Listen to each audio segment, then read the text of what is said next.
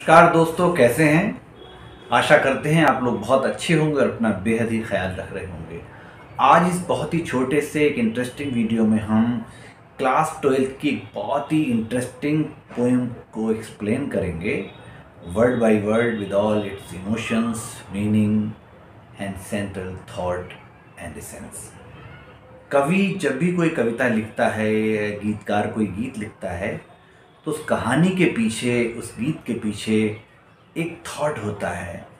आइए कोशिश करेंगे उस थॉट तक पहुँचने की। And the poem keeping quiet and the poet is Pablo Neruda keeping quiet शांत रहना, शांत रहिए।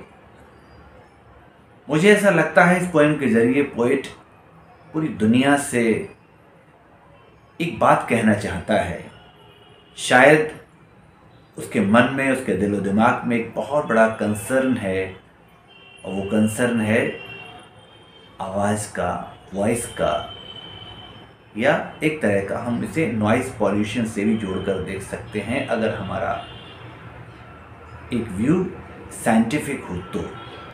और अगर लिटरेरी व्यू है तो खामोशी है, शोरगुल से दूर भागना, कहीं एकांत की तलाश और क्लासिकल अप्रोच है या आर्टिस्टिक अप्रोच है तो शायद प्रकृति की आवाज़ों को सुनने के लिए जो हमें वक्त चाहिए, जो हमारी खुद की आवाज़ों से खामोशी चाहिए, उसकी एक तलाश हुई आइए पोएम शुरू करते now we will count to twelve and we will all keep still poet सबसे कहता है क्या हम लोग बारह तक गिनती कर सकते हैं? और तब तक हम चुप रह सकते हैं।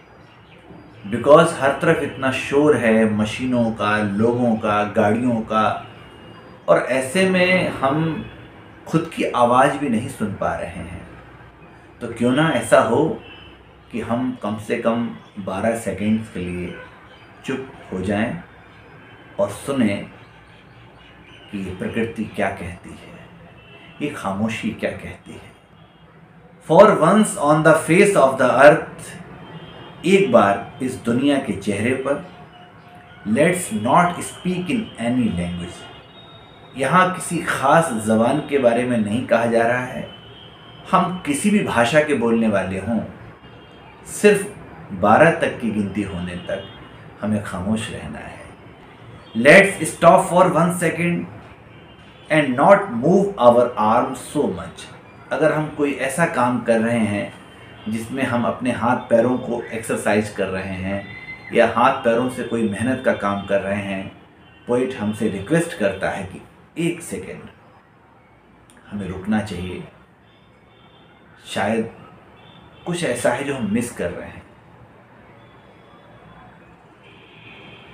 एक सॉन्ग मुझे याद आ रहा है, मैं यहाँ पर कोड ज़रूर करना चाहूँगा। चले जाओ ज़रा ठहरो। किसी का दिल मचलता है। शायद ये पृथ्वी, ये प्रकृति, ये फूल, पत्ते, हवाएँ हमसे कुछ कहना चाहती हैं। लेकिन ये हम तभी तो सुन पाएँगे ना, जब खामोश होंगे। It would be an exciting moment ये क्षण बड़ा ही अनयूजल है, असामान्य है। विदाउट रश कोई भाग दौड़ नहीं विदाउट इंजन्स अब कुछ लम्हों तक इंजन्स का शोर नहीं। We would all be together अब हम साथ होंगे इन अ सडन स्ट्रेंजनेस और एक अजीब सा सरप्राइज़ होगा। इट मीन्स जब हम चुप हो जाएँगे, हम सब लोग खामोश हो जाएँगे तो ये दुनिया के लिए, उस पूरी कायनात के लिए यूनिवर्स के लिए बर्ड्स के लिए एनिमल्स के लिए, इस सारी नेचुरल एक्टिविटीज़ के लिए एक मैसेज होगा कि आखिर ऐसा क्या हुआ?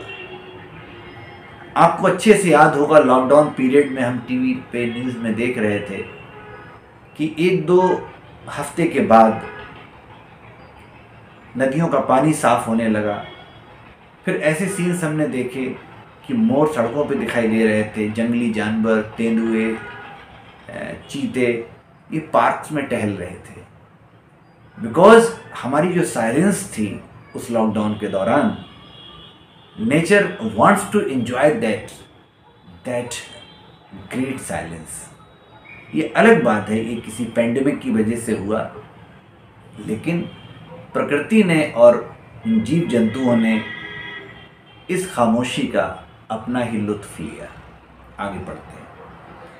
Fisherman in the cold sea would not harm whales कितना अच्छा होगा कुछ लम्हों के लिए। वे मछुआरे जो लगातार मछलियाँ पकड़ रहे हैं, जिन्हें बाद में अपनी जान से हाथ धोना पड़ रहा है। यहाँ पर पोइट ने एक और कंसर्न हमारे सामने पेश किया।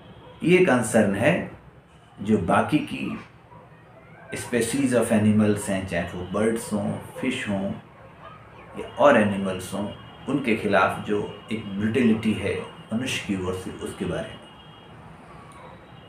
And the man gathering salt would look at his hurt hands और वे लोग जो नमक इकट्ठा कर रहे हैं, नमक के ढेले इकट्ठे कर रहे हैं, कुछ लम्हे रुककर अपने हाथों के उन जख्मों को देखें।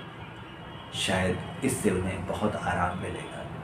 तो यहाँ पर एक मैसेज ये है कि जो लोग भी वर्किंग फ़ील्ड में हैं, जो लोग भी काम कर रहे हैं हार्ड वर्क कर रहे हैं, चाहे वो फार्मर्स खेतों में काम कर रहे हों वर्कर्स मिल्स में काम कर रहे हों, जो लोग भी काम कर रहे हैं, अगर वो कुछ देर के लिए थोड़ा रेस्ट ले लेंगे तो उनकी बॉडी के लिए भी बहुत अच्छा होगा। Okay those who prepare green wars wars with gases wars with fire इस स्टेंजा में पोएट ने एक बहुत ही इंटरेस्टिंग टॉपिक को उठाया है साथियों। और ये टॉपिक है उन, उस जमात के बारे में, उन लोगों के बारे में जो हमेशा दुनिया में युद्ध चाहते हैं। पोएट उनसे भी रिक्वेस्ट करना चाहता है। कि क्या ऐसा हो सकता है? कुछ लम्हों के लिए हम दुनिया को ख़त्म करने के अपने विचार को रोक दें, होल्ड पे रख दें, क्योंकि इससे जो तरह तरह की गैसेस उत्पन्न होती हैं, जो हम अस्त्रों का इस्तेमाल करते हैं, जिससे आग या हीट उत्पन्न होती है, जो कितने लोगों को नष्ट करती है, उसके बाद जो बचे रहते उन पर कितना नेगेटिव इफ़ेक्ट लेकर आती है, जैसा हमने हिरोशिमा और नागासाकी के बारे में पढ़ा है। सुना है। विक्ट्री विद नो सर्वाइवर्स और ऐसे युद्धों में यहाँ पर स्पेशली मेंशन किया गया है वर्ल्ड वॉर्स के बारे में first and second world wars ऐसी लड़ाइयों में किसी की जीत नहीं होती जनाब। यहाँ पर मैं कोट करना चाहूँगा रामधारी सिंह दिनकर की बहुत ही खूबसूरत किताब है, कुरुक्षेत्र। उसमें इसी टॉपिक को उठाया गया है कि महाभारत की लड़ाई के बाद पांडव बड़े दुखी हुए स्पेशली युधिष्ठिर ने रोकर यही कहा कि आखिर हम किनसे जीते? और जीतने के बाद हम राज किस पे करें? क्योंकि सभी नौजवान लोग, वीर बहादुर विद्वान लोग, शक्तिशाली सैनिक और विद्वान जो लोग थे, वो सारे इस युद्ध में शहीद हो गए। तो आखिर जीत किस पर? अपने भाइयों पर। और अब विजय का जश्न किसके साथ मनाए? किस पर राज्य करें? ऐसा भी तो कोई नहीं बचा। तो नो सर्वाइवर तो ऐसी लड़ाई में जहाँ सिर्फ़ सब मारने आते हैं, कोई किसी को बचाने नहीं आता। क्या ऐसा हो सकता है? ऐसे युद्ध को कुछ देर के लिए हम रोक दें।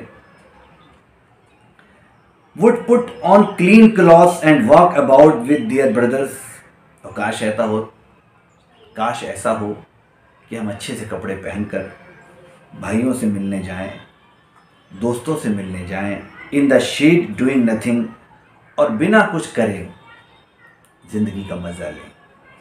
यहाँ पर पोइट ब्रदरहुड के बारे में बात कर रहा है फ्रेंडशिप के बारे में बात कर रहा है।